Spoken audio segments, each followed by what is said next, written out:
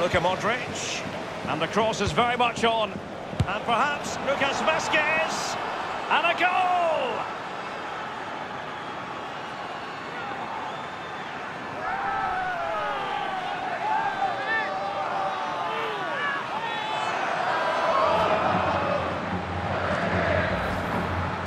Well, let's look at this again. We've all hit these in training. First time, bang in the back of the net.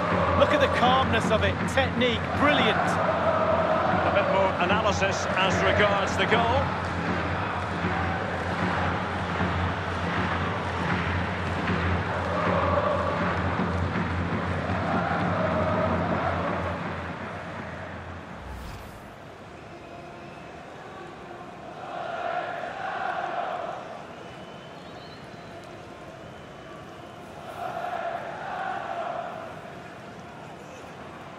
It's a massive lead, and it's very hard to imagine them